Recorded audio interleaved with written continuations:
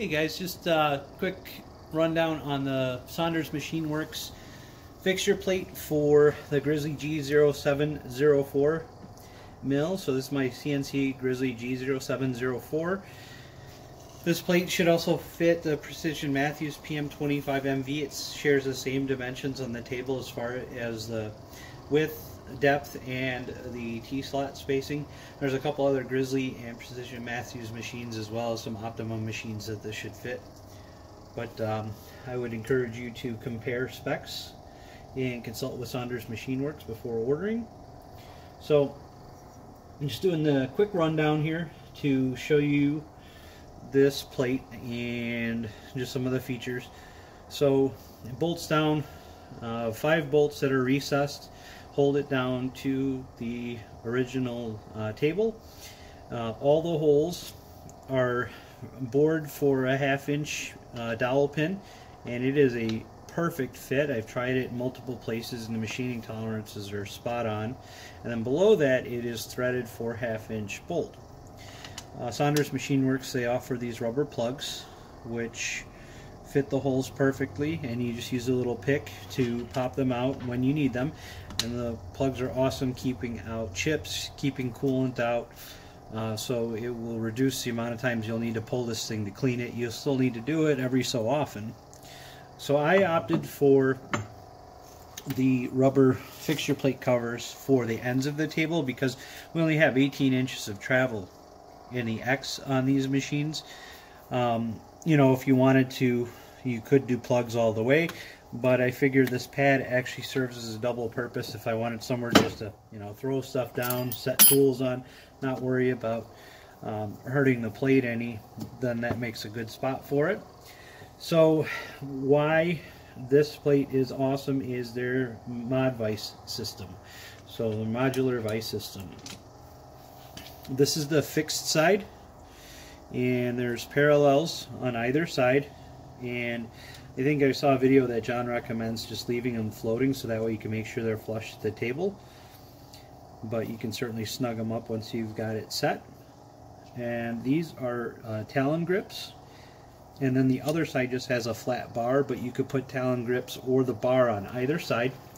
You could set it this way do a moving side of the vice system on either side or you could set it up to use this side. You can flip it around to use the other side. I have seen where somebody has had the talon grips out and then overlapped on top of here up against this bar or put talon grips there. So you can really maximize the uh, the reach or the the usable clamping area especially with a smaller table like this so not going to take up too much time with this I won't be able to run parts yet as I'm still working on some updates to my spindle motor for this machine so hopefully in about a week um, I still don't have the plate actually torqued down to the table because I do need to take it off for some other stuff that I'm doing, just some cleaning. But just wanted to give a quick rundown. So clamp this block, uh, this block of aluminum in. I'm just going to put it on this parallel up against the talon grips. Slide in the moving side. Got that snug. We'll go ahead and lock down. And there are torque specs recommended for this.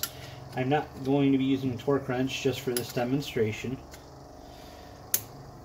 This is the tiny vise version as well. They also sell this with Mitee-Bite Pitbull clamps available.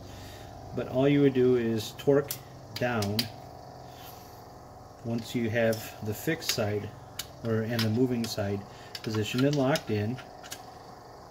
And once you torque this down to spec, it's going to hold in your piece.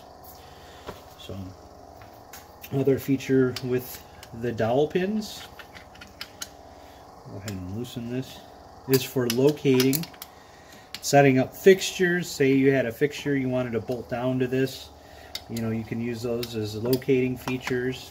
You can pop out here, you could have one in the corner so you could locate on the corner, but it's just a good precise way to locate stuff. So that's about it for this first video, just showing it on the machine and just showing some of the uh, features. of this and why the mod vice system is just awesome. So we'll get some machining videos and post up some uh, further reviews very shortly. Um, and just for those of you wondering, this plate is pretty heavy, but with the NEMA 23 570 ounce stepper motors, I'm actually getting pretty good rapid speeds. Um, I've gone up to 180, haven't had any kind of issues with stalling or missing steps just by moving the table around. So right now at 140 inches per minute, moving the table around just fine even with the added weight. So no issues there. Everything's looking really good with this and um, make sure you subscribe, like the video, and I will be posting up some machining videos with this setup uh, hopefully in the next one to two weeks. So we'll get to those as quickly as possible. Thanks for watching, guys.